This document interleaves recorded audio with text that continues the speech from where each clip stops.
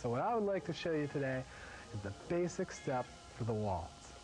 All right, this doesn't feel right. I need somebody to dance with. Hang on.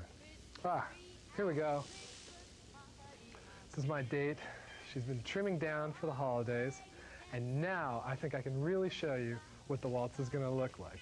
My date stands here.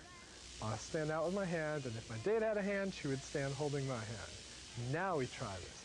Step side together, back side together, step side together, back side together. You can even do a little turning now to make it really exciting. Well, that's a basic step for the Christmas holidays, and I hope you get a chance to utilize it and have a real good time dancing. Right now, I think I'm going to take my date and treat her to an extra helping of figgy pudding.